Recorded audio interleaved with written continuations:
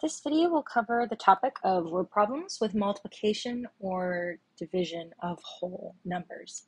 So when approaching a word problem, the first thing we need to be able to do is to translate it from words into equations. So you may have seen this table in my earlier videos. This table gives us some key words for translation. Some words for equals, such as gives, yields is the same as, is, was, will be.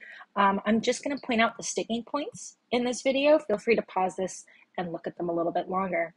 So when it comes to addition, the sticking point is sum, right?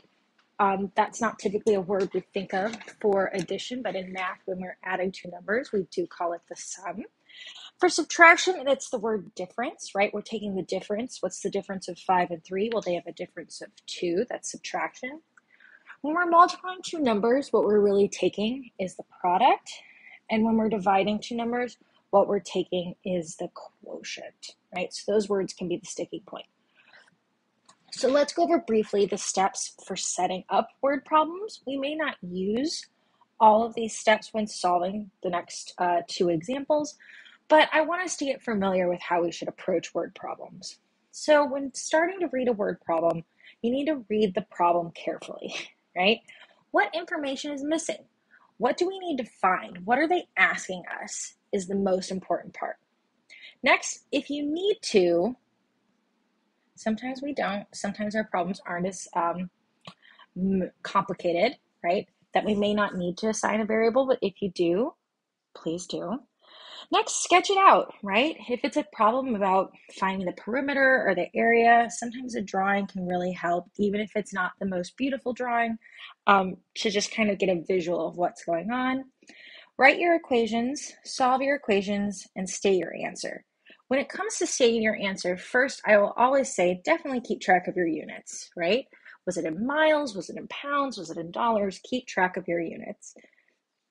But most importantly, is does it seem reasonable? Right? So, when mathematicians and math professors were writing math problems, we want them to represent the real world. So, if you solve a problem and it ends up being that the car was driving 250 miles per hour, or a student was making $75 an hour, although that'd be great, uh, those aren't really reasonable answers at this point in time, right? So, um, maybe go back and check your your work because we want to make those answers reasonable. So let's look at our first two examples. There are nine buses, and each of these buses are taking 35 people to a game. Another bus is taking seven people. How many people are these buses taking to the game? So, how could I set this up? I just want to know the total number of people going to the game.